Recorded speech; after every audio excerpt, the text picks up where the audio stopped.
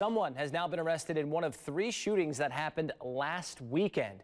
Madison police confirming this morning that a man was arrested for a parole violation in relation to a shooting that took place in the east side last Sunday night, so eight days ago. The arrest comes after a person of interest, Jerome Jacobs, was last seen in Eau Claire. Two people were hurt in the shooting on Andrew Way and Trafalgar Place, and more than 20 shell casings were found at the scene.